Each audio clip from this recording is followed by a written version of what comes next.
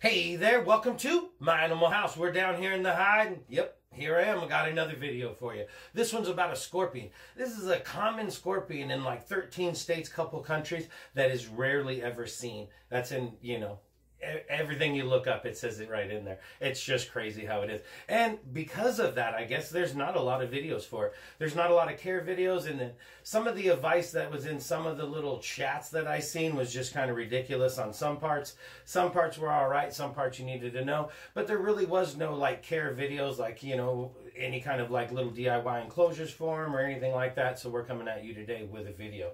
I got some stuff over here. I just want to introduce you to my scorpion that I caught locally. I'm in in one of the states that it is in. And, um, you know, I'm in Washington. It goes all the way down into like New Mexico, Arizona. I, well, I think it's Arizona. I'm not sure. There's like 13 states. I'll, I'll uh, talk about those later. But there, it's like, it's like these scorpions are everywhere and hardly anybody even knows about it. Anybody that I've ever even told where I'm at, it's like, yeah, I got this little scorpion or something. They're like, scorpions? What? I've had to take a couple buddies uh, actually up into the mountains, flip some rocks for a while and actually find one. And there are people in some of these chats that say they've keep them, have kept them them in groups, and you might be able to if you feed them enough, I guess. But just in my own experience, in my area where I find them at, anytime I've ever flipped over a rock from when I was a little kid hunting them up with my brother and stuff, there's only ever been like one under each rock. That's why I think they are so rare. If they do live in groups and they're colonized underneath the ground in their little burrowing holes and stuff where they hibernate or stuff, and they may even hibernate somewhat together.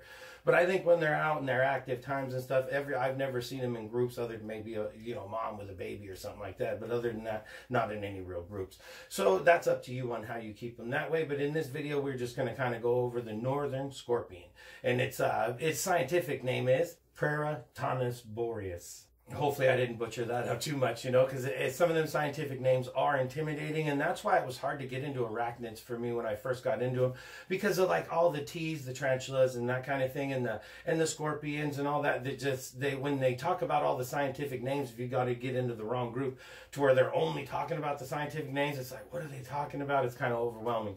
But just get back to the basics. There are common names for any of these, you know, most of these scorpions and tarantulas. Stick with those, and most people know what you're talking about out and get into the hobby. It is so fun.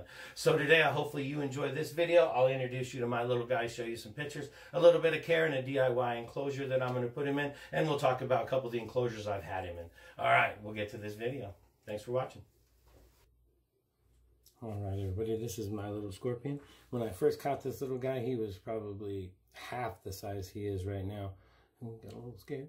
But, um, you know, he's a cool little guy. And um, I had him in a tinier enclosure, I'll show you right here, or a bigger enclosure when I first got him. And then um, he didn't seem to do much. He, he hit all the time like normal and that kind of thing. And, um, and I wasn't sure if he was getting food. I thought maybe he was too small. And for the size of enclosure that I had, I'll show you now. I just kind of wanted to give you a couple little close-ups of him just sitting there.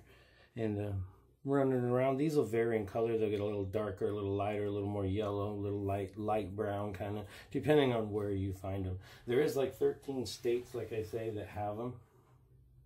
Yeah, as far as like, from what I've read, you can find these in Arizona, California, Colorado, Idaho, Montana, Nevada, New Mexico, North Dakota, Oregon, South Dakota, Utah, Washington, where I'm at, and Wyoming, and you can find them in Canada. Like I said, I think it's Canada's like only scorpion there.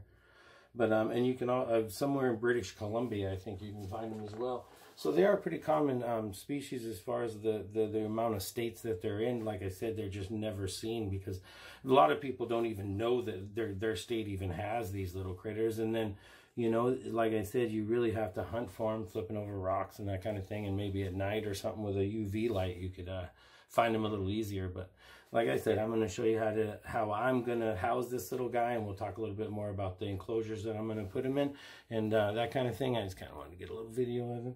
Let me turn his little cup. Yeah, he's a cool little guy. I mean, he, they're just a littler species. They don't get very big, about one and a half to two inches they get. Maybe a little bit bigger depending on where you find them, but that's basically where they go. Their venom isn't very poisonous. I mean, it is to other little, you know, smaller animals and uh, stuff like that, but, you know,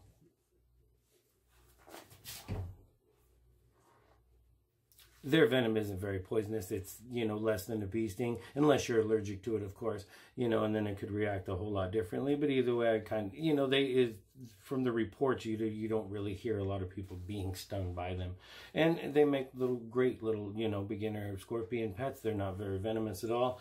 And I just think they're awesome. So, uh, I'll show you what I'm going to do and how I'm going to put him in his little enclosure. All right, everybody, here we are at the table. This is what I originally put him in. I had some substrate in there, but he, he did. He would hide underneath his little rock, and he would never come out. And that was okay. I wasn't worried about that because this is a burrowing, you know, um, scorpion, and they are nocturnal and they like to hide. They don't really want to come out in the open. But with him being so small, I got to thinking to myself because we talk about it a lot with other reptiles, especially like monitors and stuff.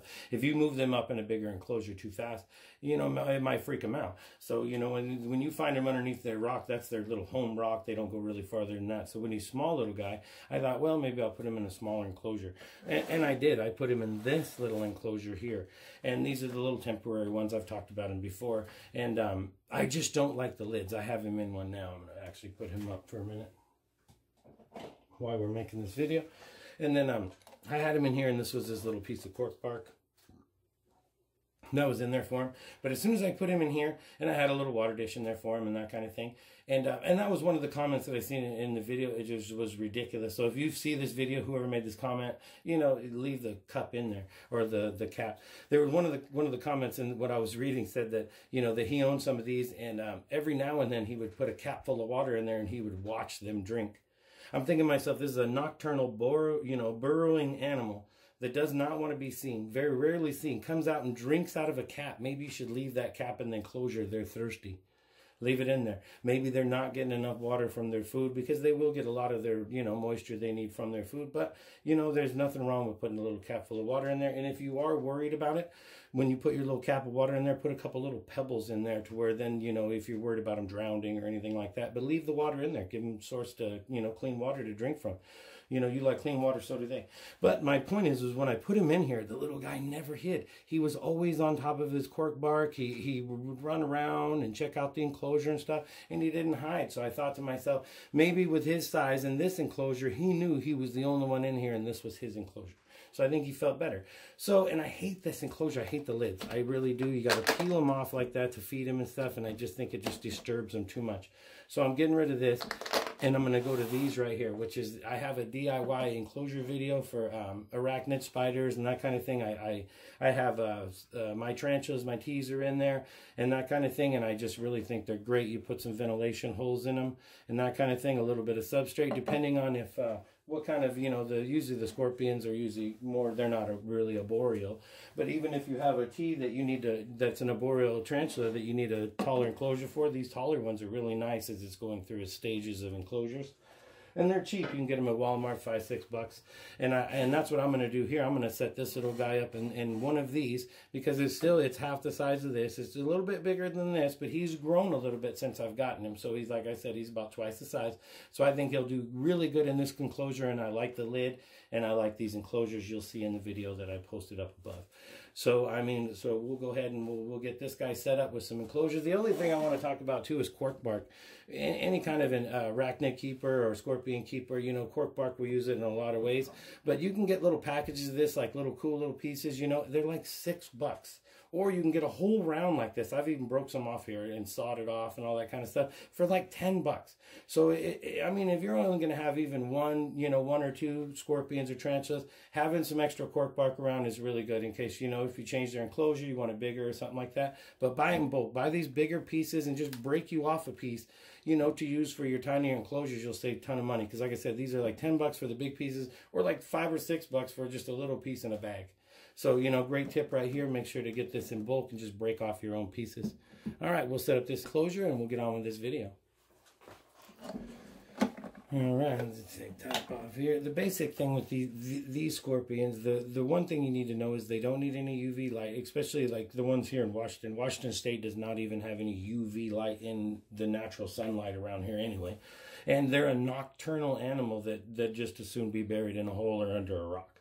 So there's no special lighting, and these guys are so durable. It's insane. Where I, where I'm at, it'll get 10 below in the winter and 110 degrees in the summer. These guys are very durable scorpion. They can live in a lot of conditions. They will hibernate if they do get cold enough.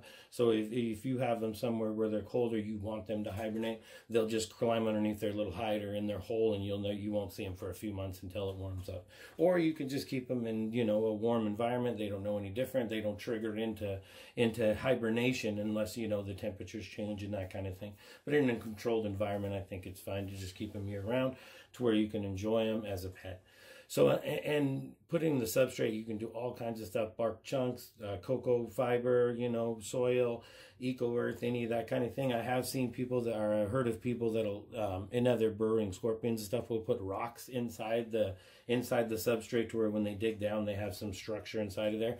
But these guys with the, with the cork bark hides and everything, they just dig their little tunnels. I think the tunnels do fine. I don't really think you need to put rocks in them or nothing. So, uh, it's just make, makes it a mess if you're changing out the substrate and stuff later. So I think they're just fine burrowing their own little holes and they'll adapt to the environment that like i said these guys are durable little fellas and they'll they'll move. They'll i mean if where they're at is is no food and and the climate's wrong they'll they'll continue to move to where they can get to where they need to be to make them you know to where they're comfortable. These guys are smart. They're really durable so i just some substrate make it pretty thick to where they can burrow and dig them a hole give them a little hide and some water not a lot of care after that so there's not, you know, you don't need any special lighting or heating, and depending on if you're going to hibernate them. So they're a really simple beginner scorpion, in my opinion. And you can find them in the the states that I talked about before.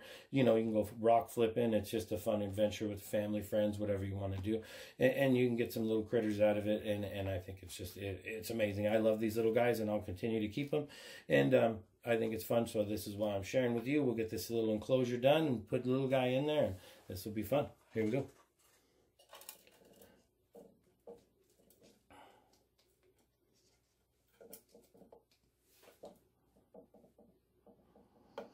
I mean, you can pack it down, but I wouldn't pack it down too, too tight. You know, give them a little head start. But they'll kind of pack it up as they go. These little guys are workers for sure. Let me get a little more. Get more substrate in there.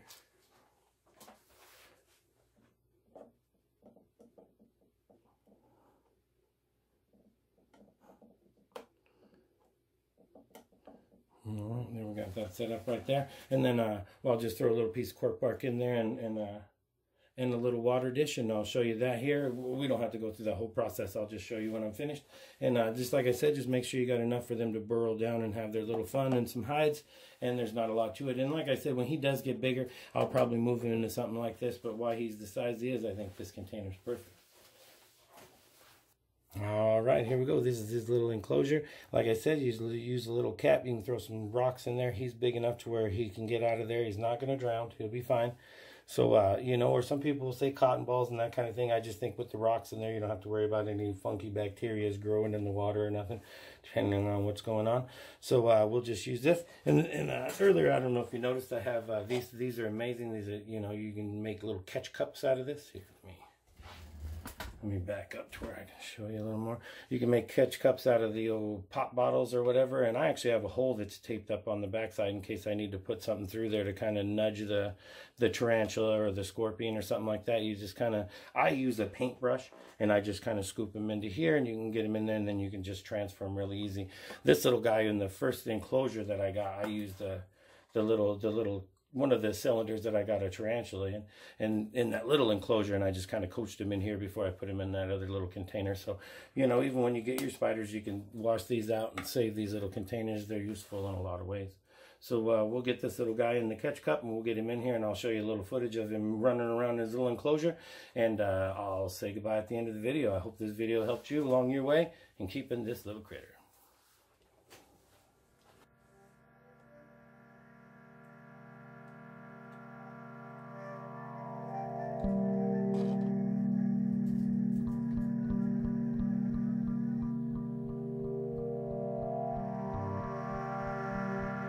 Thank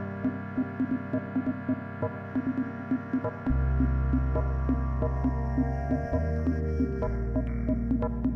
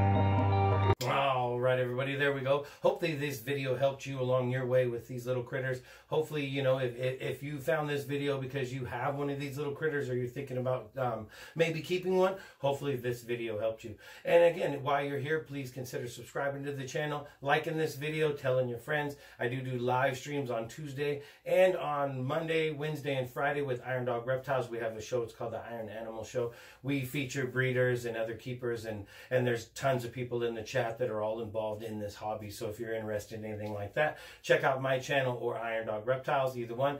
And um, hopefully, like I said, hopefully this video helps you along your way of keeping these critters. Um, if you have any comments or anything like that, please post them down below. Don't be shy about it. And until next time, take care and stay wild.